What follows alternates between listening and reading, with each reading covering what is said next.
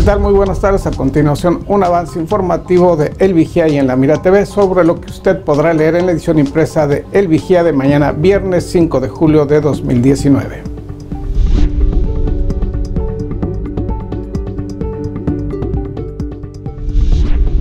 El ejército mexicano interceptó en la zona de la bufadora una lancha cargada con dos toneladas de marihuana, la cual pretendía ser llevada a los Estados Unidos.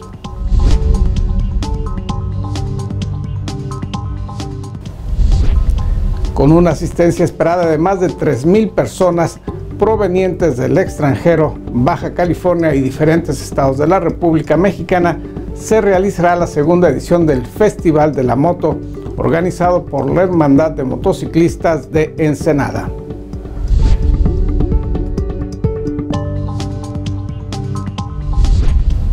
La diputada local Claudia Agaton Muñiz señaló que para terminar definitivamente con el conflicto de límites territoriales entre los municipios, el Poder Legislativo de Baja California debe promulgar el Estatuto Territorial, documento que tiene 20 años de retraso.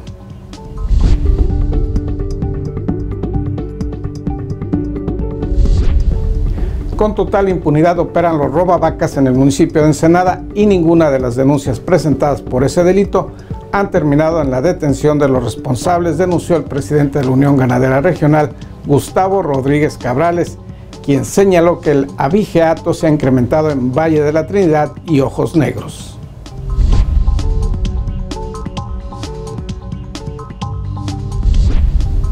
Y en la edición impresa de El Vigía de este viernes no deje de ver a nuestros columnistas Jadasa Ceniceros con Bajo Palabra, Laura Monzón con Por si las moscas, Israel Salvador con Crítica de la Razón Cínica.